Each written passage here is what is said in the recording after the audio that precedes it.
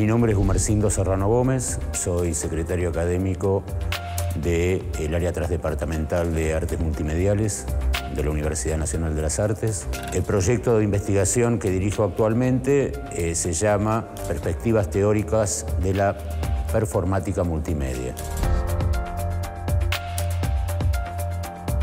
Dentro de las artes multimediales, una buena parte de, de la producción y de la actividad artística está vinculado con lo performático. Cualquier espectáculo de danza, cualquier espectáculo de teatro, cualquier espectáculo de música al, que asistimos hoy, suele tener, es lo habitual hoy, que incorpore una dimensión multimedial, que va desde objetos interactivos que aparecen en escena hasta procesamiento en tiempo real de la imagen y el sonido, proyecciones, estaríamos hablando de una performática multimedia o de una multimedia, de unas artes multimediales que en conjunto con otras prácticas artísticas, terminan configurando una especie de espectáculo pluriartístico o de evento pluriartístico donde, bueno, lo multimedial puede tener mayor o menor presencia.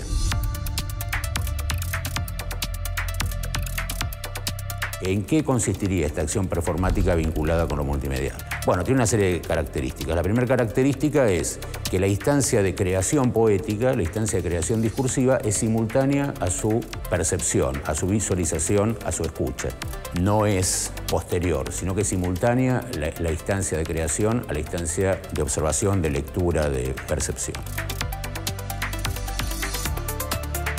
Por otra parte, otra cuestión que define la presencia de lo performático son aquellas prácticas multimedia que involucran de manera necesaria la participación de un intérprete. Que es esto lo que define en algún sentido de manera más contundente lo performático, es decir, un pasaje de una instancia trascendente a una instancia inmanente.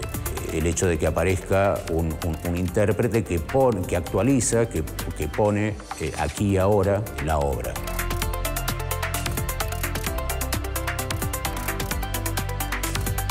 Hay dos o tres elementos que nos permiten señalar que allí está presente lo multimedia. ¿Cuáles son? Bueno, una de ellas es usar como materia de expresión poética los artefactos, los dispositivos, los medios que no estén invisibilizados, que no estén utilizados de manera convencional, sino que estén al revés, puestos en un primer plano y, como decía, trabajados poéticamente para que en allí se genere la expresión, se genera a partir de estos elementos. El, campo poético, el campo de la expresión, aparezca en relación a estos, a estos elementos, a estos dispositivos, a estas tecnologías. Por ejemplo, en determinadas situaciones escenográficas donde la escenografía se va modificando en, tiempo real a partir de, por ejemplo, sensores que tienen los actores o los bailarines o los músicos. El sonido o la imagen se procesa en tiempo real a través de distintas herramientas de software y hardware. Hay una, una, beta muy fuerte dentro de las prácticas multimediales de la escena internacional, pero también local, muy desarrollada, que tiene que ver justamente con una arqueología de medios y con un trabajo sobre la recuperación de tecnologías que la industria considera obsoletas.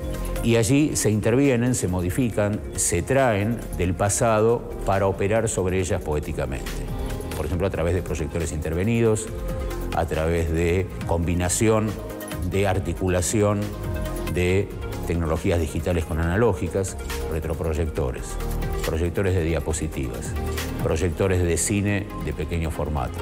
Y estos artefactos eran utilizados de manera no convencional, por ejemplo, con un intérprete que sostenía en su mano un, proyector de Super 8, iba realizando un barrido de una instalación donde había objetos, otras personas. Entonces es una práctica que recupera la poética del dispositivo, trabaja con la poética del dispositivo, pero lo usa de una manera performática.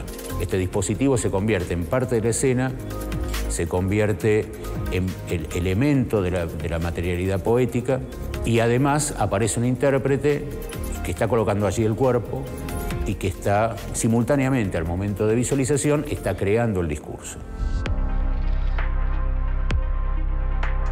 El hecho de que el artista sea formado en un ámbito universitario de excelencia académica, que promueva la investigación y la experimentación, que promueva la actitud del estudio y que desarrolle una mirada crítica frente a las distintas prácticas y a su impacto justamente de estas prácticas sobre lo social, ya solo esto modifica la sociedad.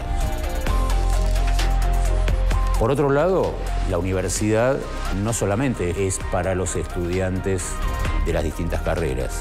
La universidad también se abre a la comunidad de diferentes formas. La primera forma es a partir de las actividades de extensión. Actividades de extensión que son cursos, que son talleres, que son muestras.